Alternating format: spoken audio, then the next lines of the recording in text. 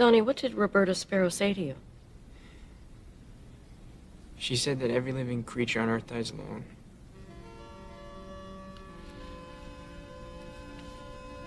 How did that make you feel?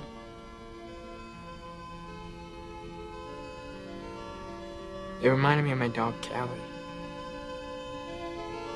She died when I was eight, and she crawled underneath the, the porch. To die.